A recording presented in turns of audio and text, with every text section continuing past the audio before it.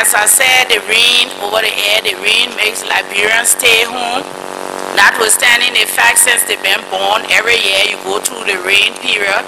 But thank God and thank uh, the radio station that are covering us that they can sit at home and learn and participate with us in this process. This morning we had on the air a few minutes ago uh, Dr. Svend E. Holsoe. He will be testifying, testifying a true personality, repertoire of Liberian history who've dedicated over 20 or more of his years in the interests of Liberia. He has, with Dr. Elwood Dunn in 1984, written the Historical Dictionary of Liberia. He's written Area Development in Liberia toward Integration and Participation. That was also in 1984. With he's written the A, Land and Life Remember, Americo-Liberian Folk Architecture. He did that with B.L. Herman et al.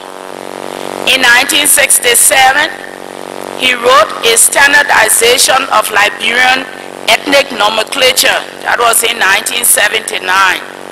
And in 1967, a study guide for Liberia. Dr. Holsoe in 1966 wrote the Kondo Confederation of Western Liberia and the small, the black scandal, America and the Liberian labor crisis in 1929 to 1936. A book review and slave trading among the Vai of Liberia and Sierra Leone. He gave a lecture in 1973. Apart from that, Dr. Holsoe have been very much interested in Liberia, Liberia's problem, Liberia's successes, as well as their fail failure.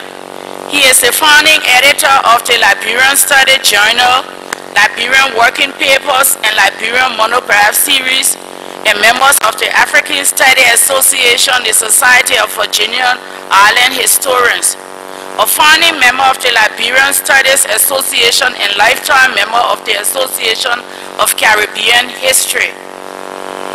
A graduate of Boston University, who has a PhD, and he is currently a professor emeritus of anthropology at the University of Delaware. After the sound, I'm Commissioner Pearl Brown Bull, Chair on Historical Review, and after the sound of our chairman, Councillor Jerome J. Verdier Sr., who will be hearing the voice of Dr. Steve Holsoe. Thank you, Commissioner Bull. Dr. Holsoe, on behalf of the Commission, we want to extend to you greetings and welcome you to Liberia and to these proceedings. We also extend to you our gratitude in honoring our invitation to come and make a presentation to the Commission. You come today as an expert witness to the Commission against the background of 14 years of conflict and many more years of uh, political turmoil and conflict uh, in Liberia. After the peace agreement was signed in 2003, the TRC was established as a forum to help Liberians transcend the troubled past uh, in building a new future on reconciliation and sustaining the current peace that we have. Much has been attached to this process and we are happy that you could come to be a part. We say thanks and welcome again. I will use this time now, sir, to introduce commissioners here present, following which we'll move into your presentation. At the right end of the panel is Commissioner Sheikh Kafumba Konneh. Next to him is Commissioner Oumu Syllah. And next to her is Commissioner Per Brambu, who oversights our historical review process, which is ongoing now. Immediate at my left is Commissioner John Stewart, and next to him is Commissioner Gerald Coleman. I am Jerome Verdier. We say thank you so much. You are welcome. It's all. Thank you very much for your greetings and for your welcome, Commissioner Verdier. Thank you, arranging this, and to your fellow commissioners on the PR, on the TRC. Uh, let me start today uh, in that I would like to suggest some ways to look at uh, what I will call troubled boundaries. Although many of these boundaries may not have directly led to the Civil War, what they created was an environment of tensions in the society which served as an underlying troubled base from which particular issues could bubble up to outright overt violence. By structuring a way to look at the general situation and to provide a few examples, it may be useful to provide a framework for the TRC and ultimately Liberians to come to grips with the past and at the same time create a mechanism to look for sustainable ways of confronting contested social issues. Let me emphasize that I do not presume to have all of the answers, nor are my examples exhaustive, but hopefully these comments may be useful. To start with, I'd like to provide some ground rules which I have used to frame the issues at hand. In general, we live in a world in which we try to make sense of what happened in the past and what continues to happen around us. Thus, this is one of the reasons for the TRC, and especially this hearing. This is not to say that there are not situations which confound us, and we cannot, at least in the short term, figure out why some person or some group has done what they have done. In general, as I say, we think there is a logic which exists, even if it may not be clearly understood, or may be of a nature that is deeper than the overt and immediate situation. Thus, we strive for ways to reach that, that understanding, and in so doing, to then try to make sense of what has happened. It is with this premise that I want my remarks to be understood. It is a structured approach, which ultimately may allow for, at least seemingly, uh, some understanding of even the irrational behavior. In addition, I believe that things are always in flux, that people take their perceived knowledge and use it, usually to their advantage. Thus, there is a constant social dynamic in which what, we, what might be thought of as established truths are suddenly manipulated or transformed to be used for other purposes than what was their original intent. And finally, as a consequence of the above, I believe that directed change has to start with what is perceived as existing, which is then transformed into something new. Change cannot be imposed as if there is a cultural vacuum. If this is done, Quite often, people will maintain an underlying hostility to the imposed change, and in time figure out strategies to repulse the change or manipulate it to more closely fit their earlier perceived standard. The, quote, obvious, unquote, idea for change may not, may not always be obvious to an existing society. So those are some, some of the ground rules I'd like to use to take on the topic of looking at what has been entitled by the TRC, namely Liberia's past, reality, myth, falsehood, and conflict, as it had impact on the Civil War. What I would like to do then is first to look at some areas of dispute or conflict, namely troubled boundaries. I picked this subject because not only were many of them bases for the outbreak of, outbreak of violence, but there were others that served as bases for social discontent, even if not the actual cause for overt conflict. These unsettled boundaries provided a general base which allowed other disputed areas to flourish. Secondly, I would like to try to explain why disputes may have occurred. Thirdly, to look at what room there is for mediating those troubled boundaries.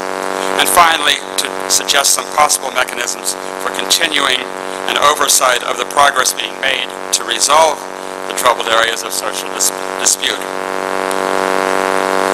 Recently, in an article in the Daily Observer, it was stated that the core problem was, quote, that things went wrong because everyone was aggrieved.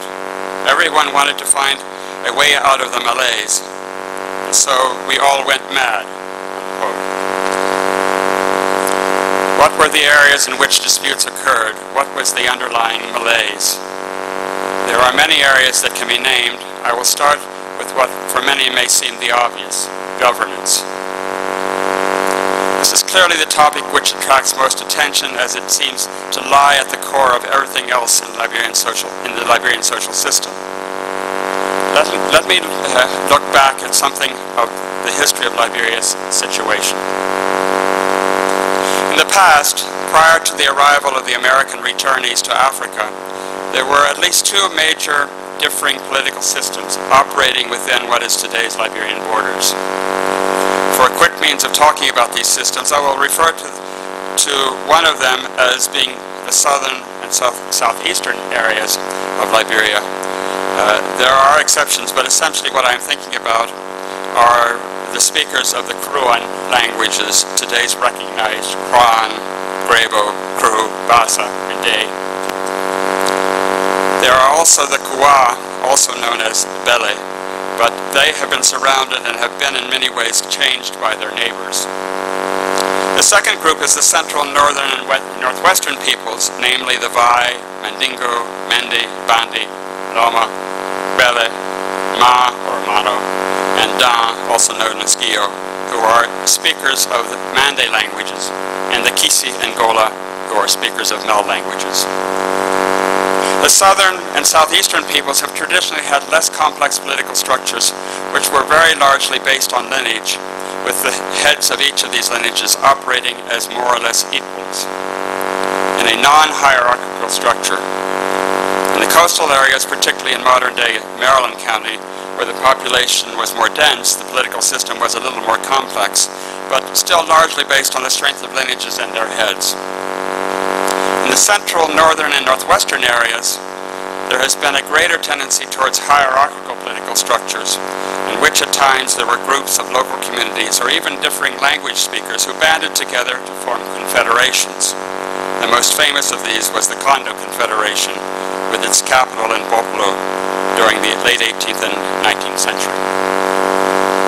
The di division described here is not totally accurate, but for our purposes it will suffice. These basic differences in governance have remained a major distinction between the two, two areas up until the present day. As the settler-based central government began to assert its political control over the areas away from the original coast, coastal enclaves, largely in response to pressure from British and French colonial powers, which were claiming large neighboring tracts of territory, a governance system was established under President Arthur Barclay's government, which was modeled after the British indirect rule policies. In a, in a nutshell, it was an attempt to work with pre-existing local leadership in the areas brought under central government control. Thus, the, the current chief of an area was to be the authority figure through which the interior commissioners sent out from Monrovia were to interact. But what often happened in, happened in the central, northern, and northwestern areas was the traditional leader did not become the recognized authority figure. To take two examples, among the Bandi, Bombolokole, who had been the traditional leader of, of the southern and eastern Bandi, was bypassed for his young nephew Mambu. The latter had curried favor with the central government commi commissioners, and as a consequence, it led to, uh, to conflict during the period from 1911 to 1914, with the assassination of eight chiefs loyal to Bombokole, the retaliatory killing of Mambu, and finally the flight of Bombokole to Sierra Leone. A similar pattern occurred in the Dan or Gio area, where Tuazama, who was not a traditional leader but a young aspiring man, was able to have himself recognized as chief by the central government.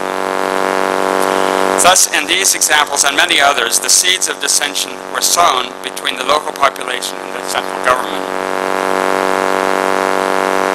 Thus, uh, on the surface, the power of the central government through its frontier force soldiers won the day. But until recent times, the dealings of the central government towards their ancestors were remembered with disfavor. In the southeast, especially in the Krahn area, where leadership was in the hands of lineage heads, who were essentially equals, as mentioned above, the concept of a hierarchical leadership structure was unknown to them. The choosing of chiefs was quite arbitrary and occurred usually because the opportunity arose for a man to win the approval of the local government uh, commissioner. As recently as 20 years ago, when meeting with members of a Krahn town to discuss health issues, the request was made for the town chief to speak. What very quickly became clear was that the authority did not lie with him, but with the lineage heads. The town chief was dismissed as, quote, the government's man, unquote. He was not their chief, but the government's. Although the topic will be mentioned elsewhere, it is worth adding that when discussing women's and children's health issues, though males started to answer questions, they were quickly pushed aside by women who began to speak. Such behavior by women would never have occurred in the central, northern, or northwestern areas of Liberia. In the Krahn region, women were overtly and socially closer in status to men in, in the public situations. Uh, this was, their, was the normal behavior. In the central, northern, and northwestern areas, men were in, in overt social dominance.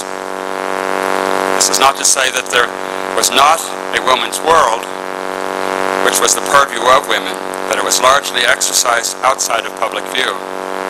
It was men who essentially controlled the political arena. The elders who sat in consultation rarely included women, and if so, only those past childbearing age. There was in this central, northern, and northwestern region in the past a dynamic between the traditional political chief, who came to authority by virtue of, of lineage position and age, and the war chief, who achieved his position by virtue of his strength and bravery. Here there was internally, a, there was here, there was internally in this system a tension with the war chief usually only able to assert temporary authority during periods of crisis. On occasion, however, such individuals would maintain their political power for their lifetime, but very rarely was it transferred to their kinsmen. There are many individuals who can be described. One of those I am particularly familiar with is Zoloduma of Cape Mount, who ruled during the latter half of the 18th century and the early part of the 19th century. In his case, there are two differing viewpoints about his rise to power. In one case, there is the, quote, Western, unquote, explanation based on the fact that he had received special training to serve as a local agent for European traders on the coast, and thus he had access to economic resources not available to other Vai men. But from the Vai point of view, given that Zoloduma was seen as exceptional in being able to rise above other men, the only explanation was that there was a spiritual force or being who supported him, a Jinai, with whom he had made a pact. And according to the traditions, for him to have received this special support, he had to commit an asocial act, namely murder. When he died of old age, he was buried, but quickly exhumed by other aspiring leaders, and his body was desecrated so that his power could not be transferred to others. This pattern of political leadership was widespread across the central, northern, and, nor and northwestern parts of Liberia. And as everyone here will have noted, there, are, there were reminders of this pattern in the recent Civil War.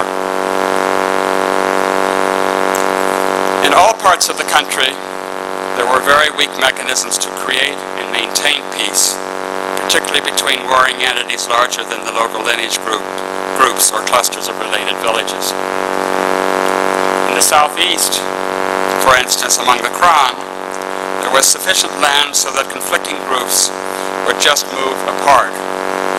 In more densely areas, as along the coast, for instance among the Grebo, there was the very long-standing antagonisms between the Klemowe and the Nimowe, which uh, periodically spilled over into warfare, but which ultimately died by sheer lack of means to continue to support the conflict. Vai area, there were occasionally attempts by third parties to mediate, mediate disputes, but lacking power to enforce the peace, disputes quickly broke out again. Thus, thus there was, as was particularly evident from the documentation of the 19th century, a considerable amount of continual, continual conflict.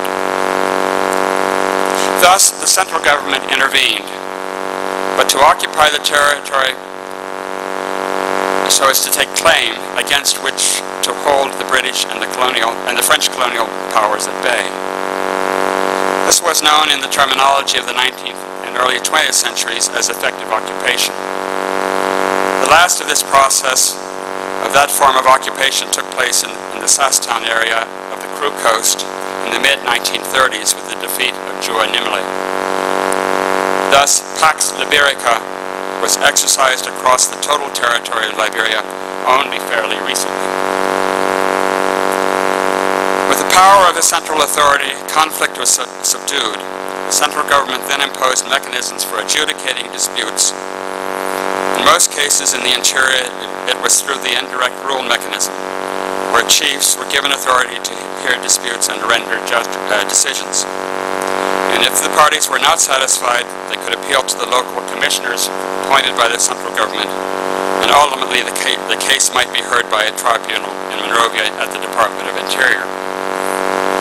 The new system essentially brought overt violent conflict to an end. There was, however, a little unconstitutional problem to the structure. Members of the executive branch of the government were hearing and settling legal disputes. The case, the court case was brought to the Supreme Court in the early part of the 20th century, and the court ruled that the structure was unconstitutional. The court's decision was ignored for decades. More importantly, what we saw develop beginning with the presidency of Edwin Barclay was the increasing centralization of power following on the subjugation of the peoples of Liberia. It was done as a mechanism to rule peoples who were not used to a modern democratic system. But although there were minor bows to the democratic process, by and large, it was a centralized control of the vast majority of the Liberian people. And the franchise was extended both to the women and in turn to the peoples of the, quote, hinterland, unquote, the choices provided to this new electorate were sharply controlled, so that free and open elect elections were only with rarity, uh, free and open elections only uh, occurred with rarity. And this then, and then this all unraveled. As I'm sure others will argue, with the overthrow of the leadership of the central administration in 1980, and in particular with the new leadership favoring people of certain regions and ethnic groups, the overarching control by force of the central government was weakened. As a consequence, there was an opportunity for disputes to flare up, which the central authorities had difficulty quashing. The top was off the box, and disputes spilled out, thereby allowing local warlords to arise. As a consequence, some of the patterns of violent disruption known from the past began to re-emerge.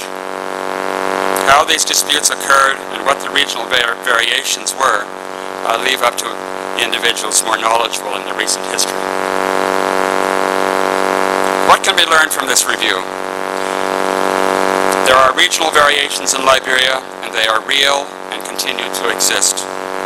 Secondly, there was a need to reimpose central authority over all of the country in order to return, return to tranquility. This was finally achieved by UNMIL troops and the final removal of the weak central political structure and its leader Charles Taylor and his government. How does one put the state back together? It is necessary to acknowledge in any new political structure that there are regional political and social differences which any new structure of local governance will need to pay attention to. In addition, in the matter of dispute settlement, Mechanisms need to be put in place that are appropriate and yet at the same time a standardized legal system needs to be made operative across the country. The lesson is that in designing, designing modern governance structures, non-hierarchical systems work better in the South and East, while, while more hierarchical, the, the more hierarchical, hierarchical system will work in Central, North, and Northwest. Thus, the local people must be left to design within a general structure the political system that works best for themselves and not have the specifics of it imposed. As alluded to above, Liberia has had dual legal systems, the traditional and the statutory. In other words, to use my thinking, this has also been a troubled boundary. Many countries have had to wrestle with this problem. A unified legal system would alleviate competitiveness between the two systems, which in the past allowed litigants to play them against each other. Consequently, it made the legal situation unclear and the process was not respected. But let us go back and review a different phenomenon which ties into this dual legal system. Starting in Maryland County in the 19th century and then spreading outward, there has been the creation of dual villages, the traditional village and the quote, civilized unquote, Christian area. The underlying issue was that the Christian converts no longer wanted to be socially bound to the traditional systems of governance and belief. This, this old phenomenon has seen its expansion in recent time, into, into recent times. Starting in the 1960s, there are, though there are a few earlier instances, people deemed, quote, civilized, unquote, not only by themselves but by the central government, and thus, in certain situations, allowed to vote, began to exchange their individual separate villages for townships. This, in and of itself, was not surprising, as this was what the outside settlers had created to distinguish their areas of, of authority from that of traditional people's governance authority, government authority. However, in this case, it was not the people of overseas origin, but local people. In even more recent times, people in areas designated by the central government as districts from the indirect rule system petitioned the central government, namely the legislature, to have those areas designated as statutory districts. Likewise, there has been the escalation of the process by now moving to create cities. Grand Kru County, with a population by the recent census estimates of about 67,000 plus people, had 30 plus cities. Thus, thus, these decisions were presumably made so that all legal transactions would occur under statutory law and not traditional law. This was the ostensible reason for change. However, I suspect no one was naive enough to believe that, that this was the only motivation for the creation of these new legal entities. The underlying old motiva motivation was undoubtedly there to move away from traditional governance systems, but there were certainly others who saw this as a way to create new government bureaucracies and thus new jobs. In the short term, it has caused considerable problems, especially in the creation of townships and cities, as in many cases, the new political entities have not followed the boundaries of the old tribal units. Thus, dual, dual systems thus continue to exist, thus a troubled boundary has not been eliminated. I am aware of the work of the Election Commission along with other government, government entities to try to, regular, to regularize political boundaries, namely the, the Boundary Harmonization Commission, and of the proposed le legislation that is before the legislature. The general underlying point, however, is that those communities which have made the decision to be governed by statutory law should be encouraged. Ultimately, Liberia needs to come under one legal and unified system. The process has begun with some. In the end, the legal system with its courts will be the arbiter of the land. And this system functioning smoothly and fairly for all to seek justice will serve as the basis for the settlement of disputes.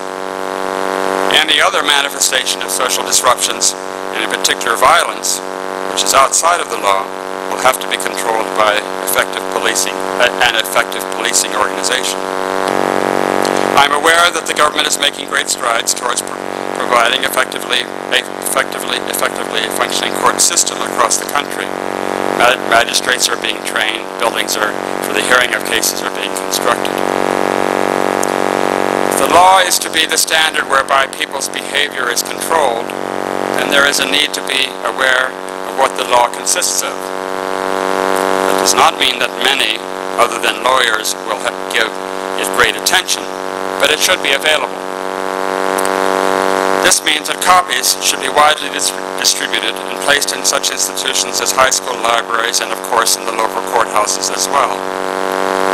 Along these lines, lines, it would seem reasonable that the combined acts of the legislature be reinstituted. The, practice began in 1839, but was abruptly stopped in the 1960s. Today, the only document, documents available are the individual handbills, and there is no easy way to know what the full list of acts are which were passed by any legislative session.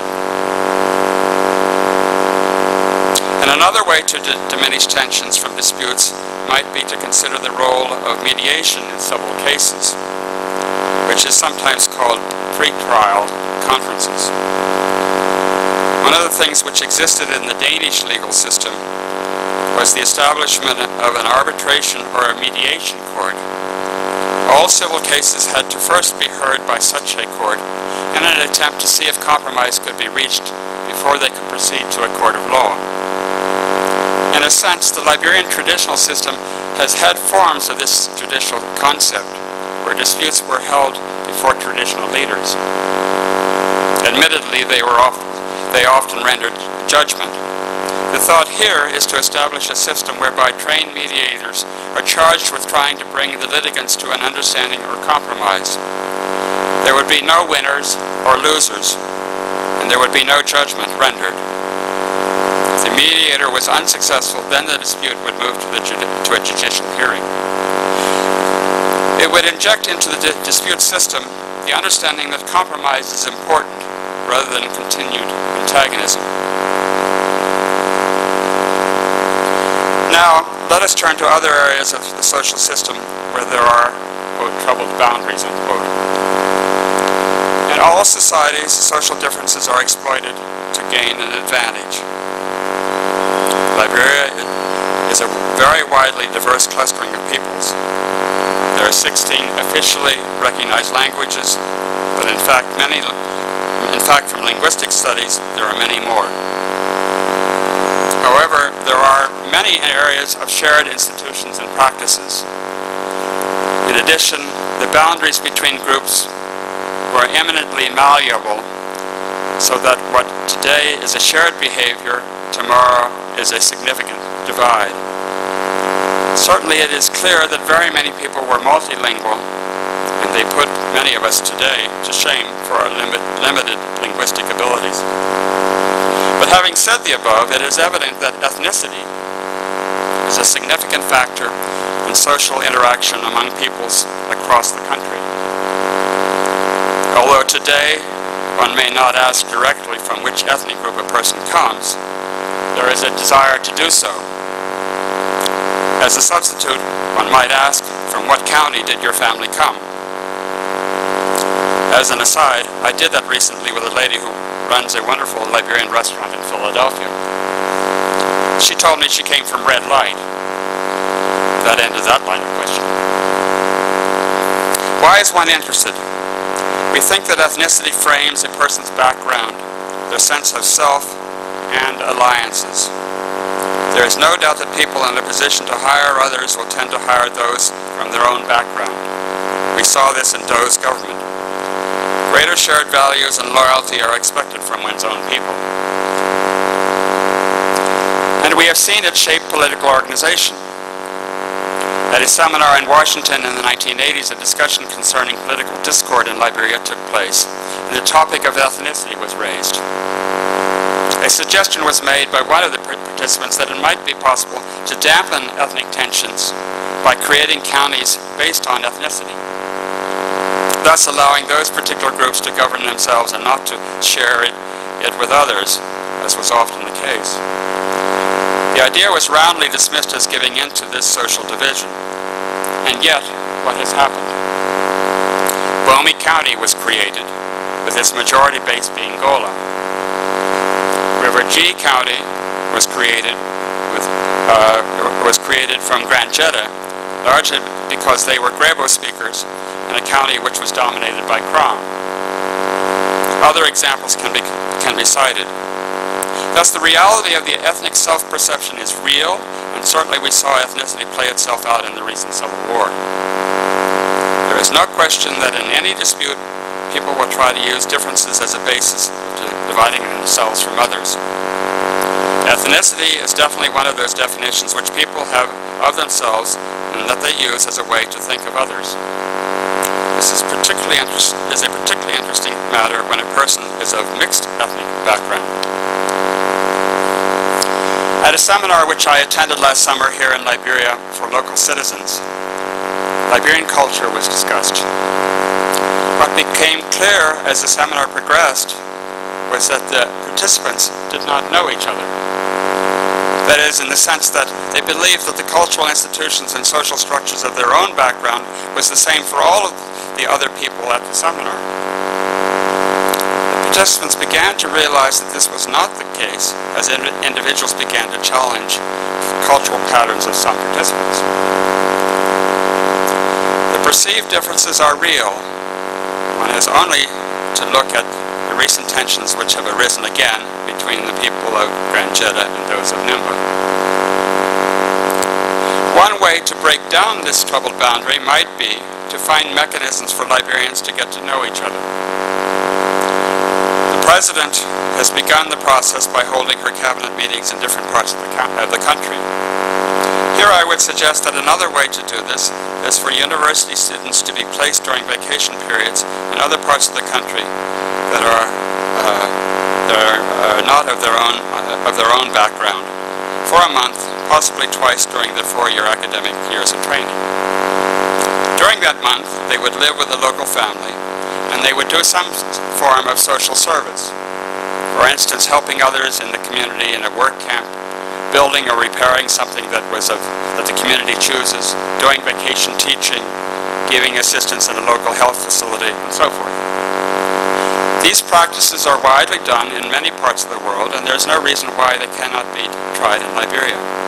The exposure to people in other parts of the country is an invaluable part of widening the horizons of students. In the end, the nation as a whole will benefit addition, as part of civil law on discrimination, ethnicity must become a protected status by the courts. Discrimination on the basis of people's perceptions of one's ethnicity must be made punishable. Another area of great importance to the reconstruction of the nation is the need to weaken a social and political system based on privilege. For far too long, social differences based on wealth, education, and healthcare, which provided a, a better quality of life, have been the norm. For all of the moves by the last two true Whig Party presidents to improve the standard of life, the chasm between rich and poor, privileged and humble, strong and weak, remained notable process initiated by the presidents to change these conditions did occur, but the problem was enormous and the change was not as fast as hoped. In addition, because the process had begun, because the process had begun, expectations of improved social conditions, conditions rose far faster than they could be delivered. This then was another troubled social boundary that existed prior to the 1980 coup. addition, probably partially due to the social disparities, but also because a fundamentally different social system was being imposed on the various peoples of, of Liberian society, I think it can be argued that a new system based on trust was demanded.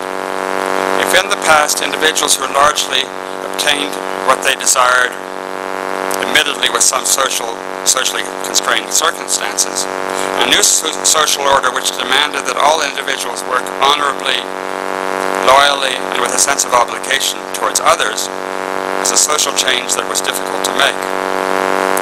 I mentioned in the beginning that certain new ideas fall on fertile ground, but many do not resonate, and thus there are, they are either rejected or grudgingly accepted when imposed, but with undercurrents of discontent. And when these new demands occur in a social setting where the old norms of the village, including economic and emotional sustenance, were no longer valid, was not surprising that asocial behavior arose. People look out for themselves and their kinsmen. There was a kind of free-for-all to to make sure that one survived. All of these patterns of behavior had to be reined in, have to be reined in in the new modern social system. Into this mix also come new paradigms of social interaction that involved matters concerning gender. We take as the central fo focus of this examination troubled boundaries in the society, gender is one of the fundamentals of most societies, including Liberia. Liberia. It's less than 100 years ago that in many areas of Liberia, women were seen purely as objects. They could be pawned, exchanged, or sold by men. In addition, it was women who, along with children, bore the brunt of civil conflict. This fundamental social divide, women had little, say, little or no say in their fate. And so domestic relations were one of the most troubled areas of social life. One observer has stated that he thought that about 90% of all trouble, uh, of all cases of lit litigation during the Pax Liberica period revolved, revolved around, from the men's point of view, woman palava. This boundary of instability may not have led to the actual civil war, but it was a factor in a widespread undercurrent of social discontent. Matters over the past many decades have moved towards, toward the improvement of women's social positions, including the granting of the vote, active involvement in the political process, the new domestic relations law, and more recently the right of inheritance. But it is still clear that many have yet to reach the recognition that women deserve to be equal players in all matters. The fact that the nation elected its first female president has gone a long way in this direction, but, but uh, there is much to be done in this case, in particular, in the more conservative areas of the country. The process is currently being monitored by both civil society organizations as well as by the Ministry of Gender. One of the ways that improvements are being made is by sensitization meetings for women on their rights and responsibilities and on choices they can feel free to make, which were not possible until recently. Along these lines, work needs to be done with men also to change their attitudes to, towards what were believed to be the narrowly defined roles which only women might play. To explain what is important to everyone, including men, that women make choices for themselves freely. True, men may need also to change the way they relate to women and to achieve the privilege of having an equal relationship with women. I am also aware that the TRC held women's thematic hearings. This will help not only to heal wounds, but also to further the process of making women an equal part of the society.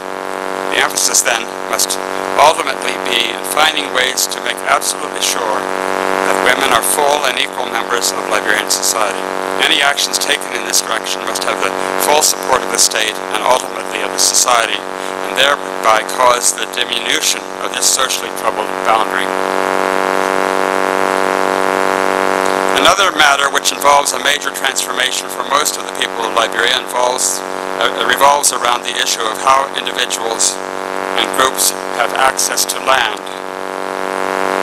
In the past, with some limited exceptions, land was usually not contested. The population was generally sp sparse, and thus access to land was fairly easy.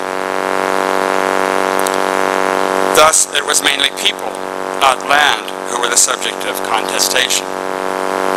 The concern of leaders was to accumulate sufficient numbers of people to work the land. The use of slavery was one such way. People, and in particular women, in fact had more value than land. The exceptions to the previous comments were where land was limited, namely in high population density areas. These usually were along the coast, where people could no longer continue to spread out. In addition, there were newer groups from the interior trying to gain access to the coast and salt or outside for salt and or outside trading possibilities, which and these uh, caused troubled uh, territorial disputes. However, as sta stated above, these were the exceptions. For the vast portion of what is modern-day Liberia, disputes revolved around claiming people, not land. Thus, although groups of people usually knew where the boundary was between themselves and others, given the fluid nature of political control, groups of people moved backwards and forwards, being connected to one group or pulled away to another. Land largely only became a problem when the central government moved towards indirect political control in order to stabilize the political entities, which came to be known as clans and chiefdoms. Only then the, the boundary between one such group and another become significant. Presidents King and Edwin Barclay spent an in inordinate amount of time adjudicating and stabilizing those boundaries. As a, con a consequence, contestation shifted from people to territory. What was created by the central government was something which was called, quote, tribal land, unquote. This was nominally controlled by the local political authorities, such as clan chiefs or paramount chiefs. However, this clashed with the nation's right to the land. Thus, any, thus, any quote, unoccupied land uh, uh, belonged automatically to the nation. In addition, the state had sovereignty over all of the territory within its boundaries. This included rights to all minerals below the surface of the topsoil.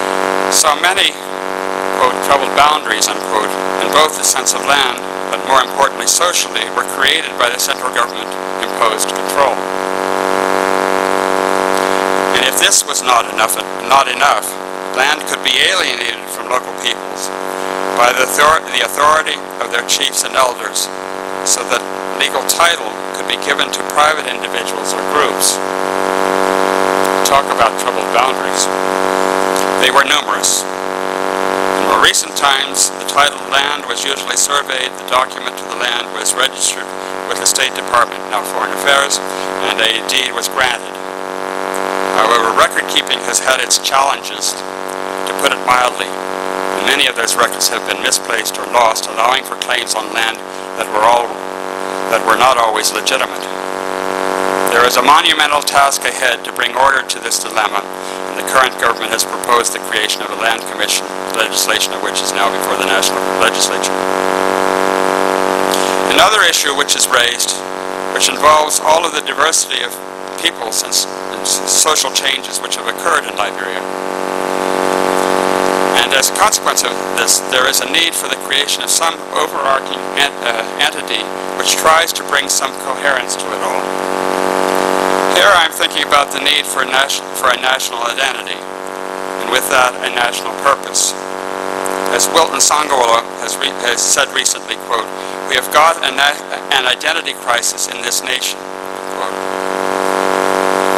I'm aware that there have been discussions to create a commission.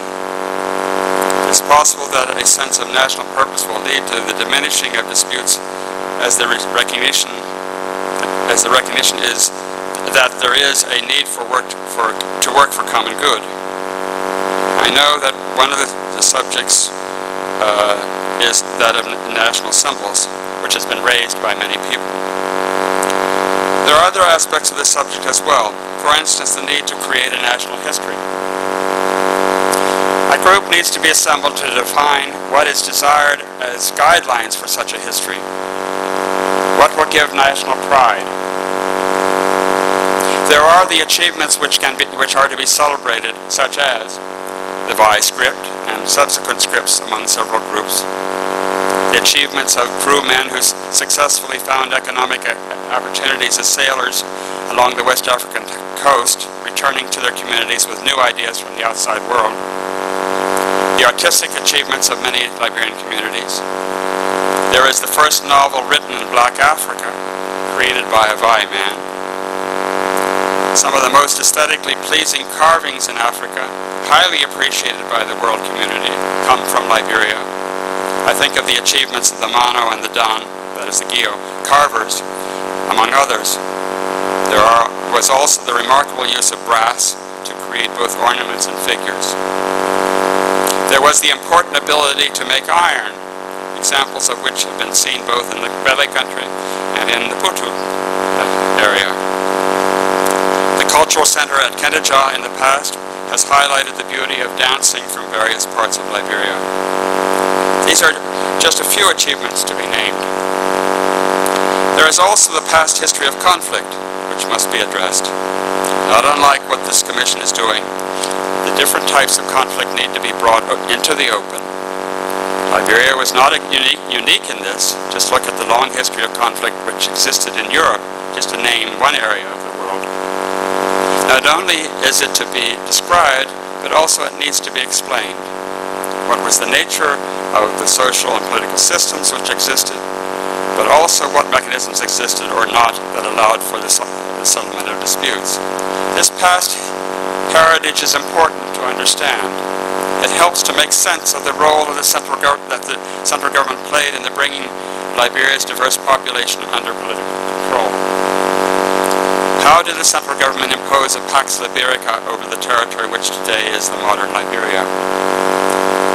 There is in this process not only the ending of internal conflict, but also the cessation of hostilities towards the, the state. And then there were the men and women who tried to cross the social boundary between their traditional backgrounds and the modern. For instance, Momolu Massaquoi, Didwotwe, Victoria Elizabeth Gillamo Grimes, George Bafofo Peabody, Plenyono Wolo, and Robert Johnson, better known as Jalamali, just to name a few among many. Their lives were often difficult, but they made the effort, and that is to be celebrated. Here I echo a recent uh, I echo recent editorials in the Daily Observer urging Liberians to learn about prominent figures in Liberia's past. What is clear is that Liberians need to know themselves and their diverse history. The coming of the settlers from the New World is only a very small part of that history. Today is the time to begin the process of bringing the past to light so that Liberians can have a sense of pride in who they are is part of the national healing. This leads finally, in my arbitrary choice of contested boundaries, to the spiritual world. There are divisions in Liberian society, for instance those who are members of a monotheistic religion versus those who believe in the traditional world of spirits. Into this mix are those who welcome change and those who desire the comforts of a world of continuity from the past. In the latter case, at times, issues are raised about what is to be, uh, it is to be in a modern society, what must be banned because it goes against what is termed in the modern society basic human rights. Thus, the killing of individuals for body parts, hearts for instance, is seen by most of the world as abhorrent. The practice, as is well, as is well known in Liberia, uh, is hard to ban. Returning to a theme stated earlier, one kind of mechanism usually urged by social scientists is to try to figure out a mechanism to transform the practice to something socially acceptable to a modern society. However, in some cases, it is hard to put, uh, hard to figure out how to transform, in this case, heart men. And thus the only ch choice is to outright ban it and use the full force of the state to implement the ban. These kinds of situations, however, need to be the exceptions to the changing social, to changing social practices. There's another area of social religious practice which might be treated differently. This concerns the matter of clitoridectomies, a difficult subject, with people having strong feelings on both sides.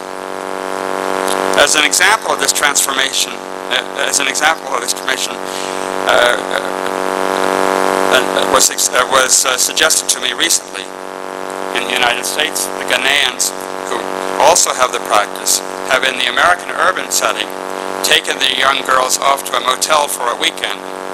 There they are given a concentrated course in what is expected of a Ghanaian woman. At the end of the weekend, the girls are celebrated as having become women before they return to their homes.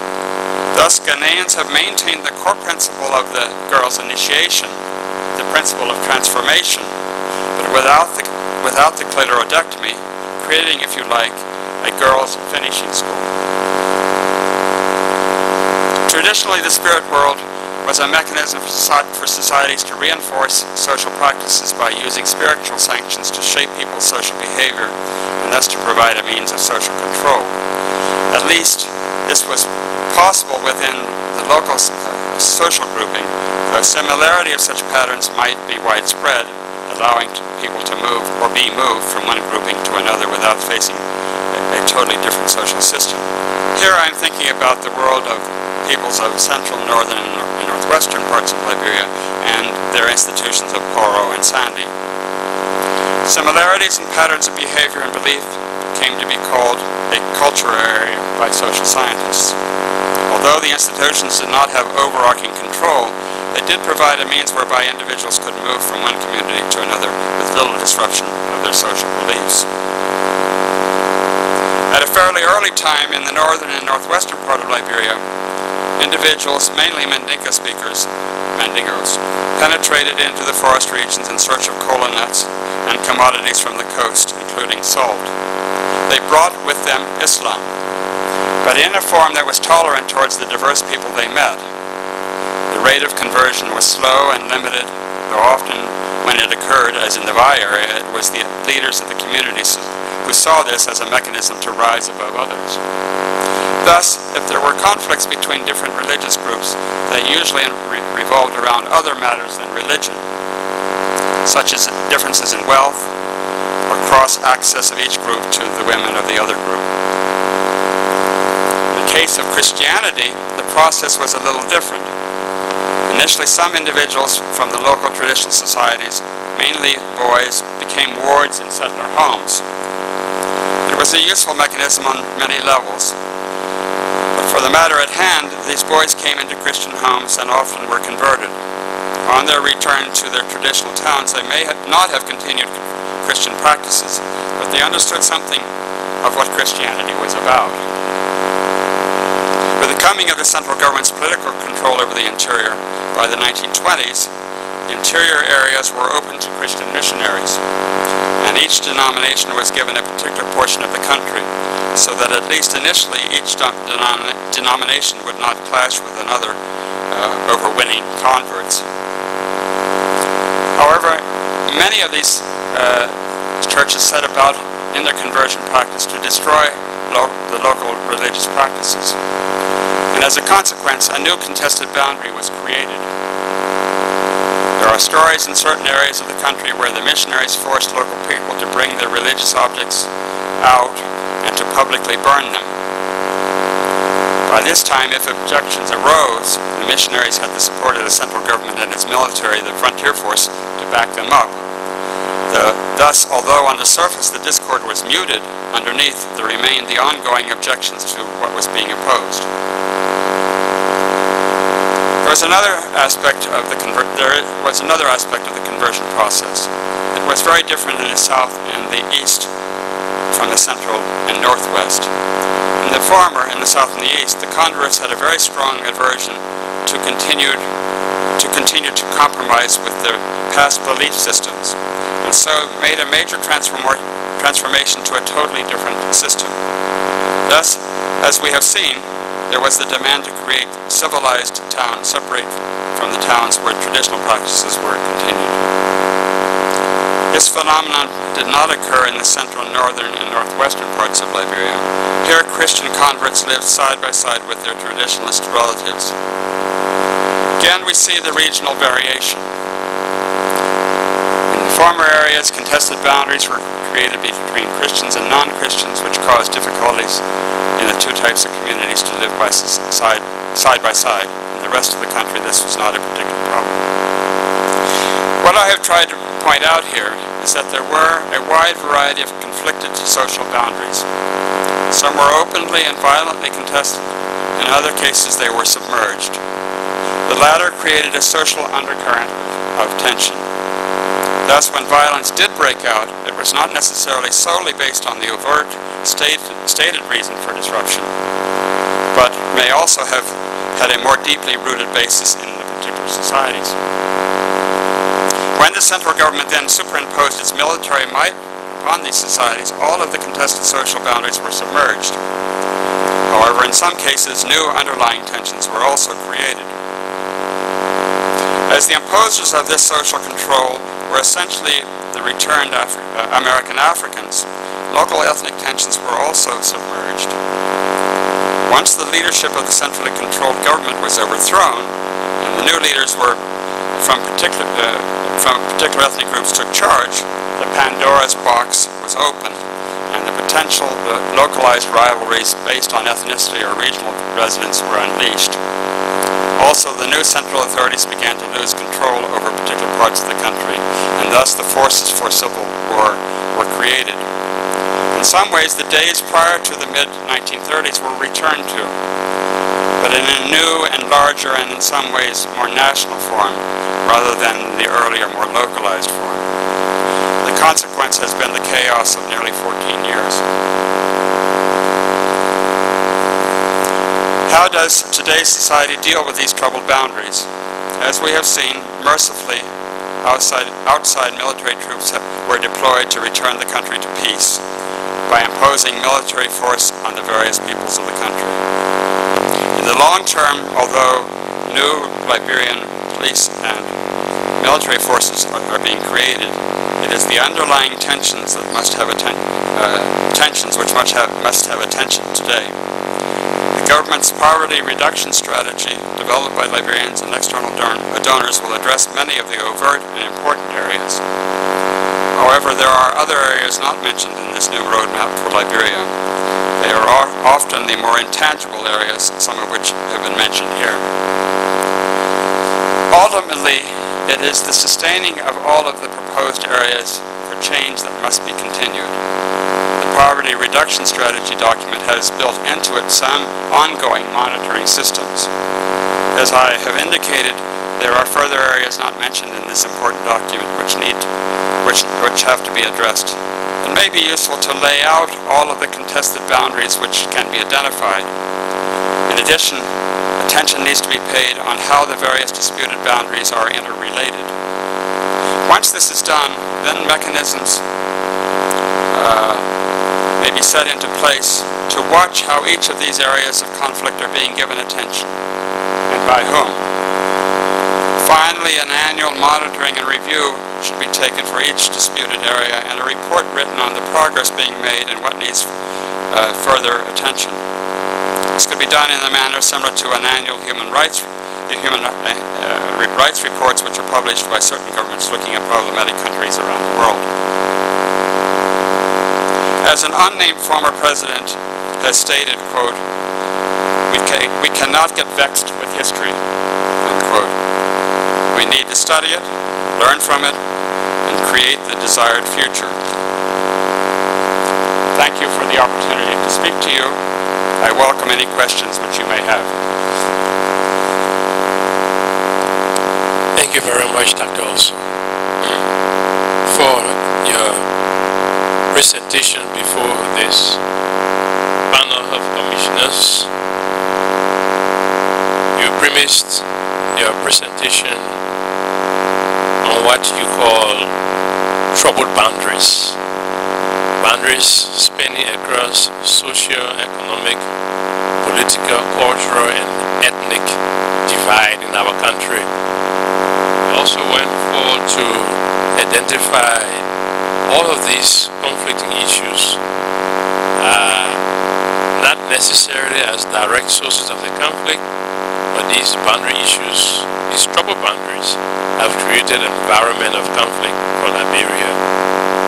And you identified key indicators that our country could attempt to resolve in order to move forward in the dichotomy of the legal system, the crisis of identity, access to land, socialization, all of those going back to the founding of the country have existed up to now. We also identified two political structures that were in place prior to the coming of the settlers. And you thought that lessons could be learned from what those experiences were and how we want our country to go forward. I want to thank you very much for coming and making this splendid presentation today. Uh, it is time to ask questions from commissioners, but we'll take an hour's break and then return for questions and answers. Thank you very much. Mr. Hearing Officer, the Commission will recess for one hour and return thereafter.